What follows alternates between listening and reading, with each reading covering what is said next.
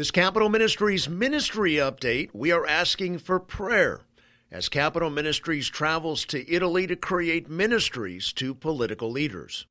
Your prayers are requested as Ralph and Danielle Drollinger travel to Italy to meet with European political and faith leaders to discuss planning a Capitol Ministries discipleship Bible study to members of the Italian Parliament.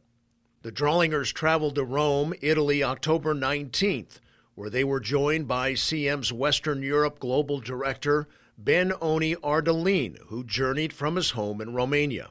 The CM contingent will be meeting with Gaetano and Sandra Sottile, who founded Italy for Christ around the same time as Capitol Ministries was founded, more than two decades ago. Ralph and Danielle founded Capitol Ministries in 1996.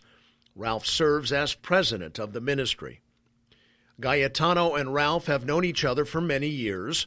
Ralph asks for your prayers as the ministry team creates a plan to reach the federal, state, and local government leaders for Christ throughout all of Italy. Drollinger shared, quote, We are humbled and privileged by the opportunities for ministry growth that we've seen most recently in Europe. We ask our supporters and prayer partners to continue praying for God's leading and wisdom as Capitol Ministries pursues these invitations in keeping with our mission to make disciples of Jesus Christ in the political arena throughout the world. End quote. Mark 16:15 reads, and he said to them, Go into all the world and preach the gospel to all creation.